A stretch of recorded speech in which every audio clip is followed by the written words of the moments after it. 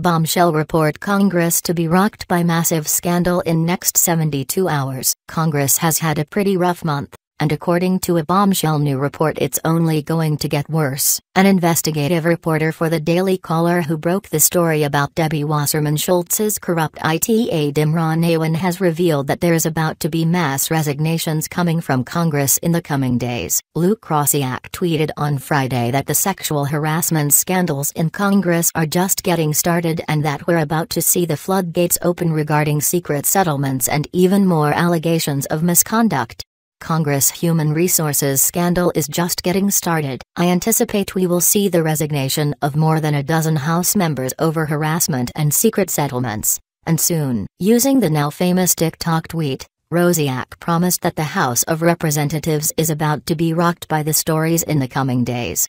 Mark my words, the House is going to be rocked in the coming 72 hours. Tick Tock, for those unaware, Rosiak also broke the story of Democrat Rep. Gregory Meeks of New York paying out a settlement with a former aide after she claims she was sexually assaulted at the business of one of his major campaign donors. In addition to Meeks being outed, there's been numerous other high-profile resignations from political leaders in recent weeks, the most prominent being Democrat Rep. John Conyers, the longest-serving member of the House, according to the Daily Wire. The following politicians have also been caught up in sex scandals on Capitol Hill. Democrat Rep. Alcee L. Hastings, FL. The Treasury paid $220,000 to settle allegations against him made by a former congressional staffer that claimed he touched her, made unwanted sexual advances, and threatened her job.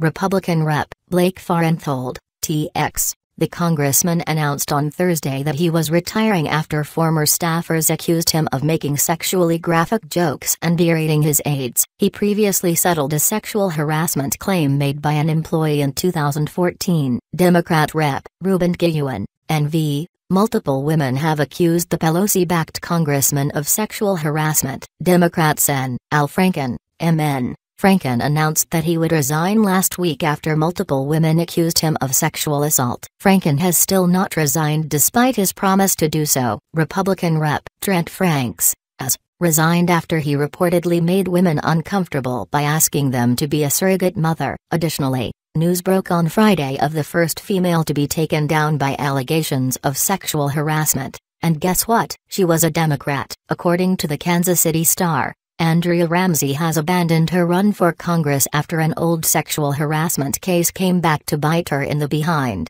She first made a move on a male underling at a former company, and when he rejected her advances, she first demoted, then fired him.